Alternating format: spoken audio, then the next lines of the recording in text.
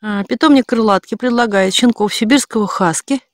А, Щенки родились а, 20 октября 2022 года. А, Сейчас у нас свободные мальчики. Один шоколадный и черно-белые. Глазки голубые. Есть щенок а, с карими глазами, есть глазик мозаика.